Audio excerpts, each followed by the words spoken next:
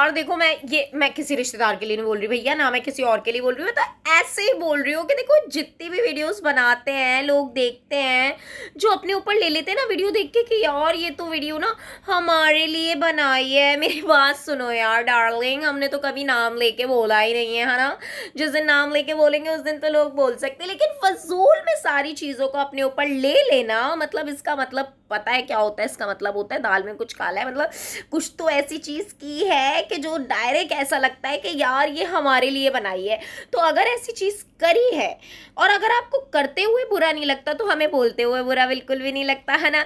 और अगर ऐसा कुछ है ही नहीं, आपने कुछ ऐसा किया ही नहीं है तो फिर अपने ऊपर क्यों लेते हो यार? मतलब जस्ट चिल फनी वे में लो और फिर हवा में उड़ा दो। हाँ इतना दिल पे लेने की ज़रूरत नहीं है। सीधी सी बात है, क्योंकि जो लोग दिल पे लेते हैं या फिर सोचते हैं कि, यार, ये हमारे लिए बनाई है, उसका मतलब है कुछ ना कुछ तो ऐसा किया है ना तो फिर बुरा मानने की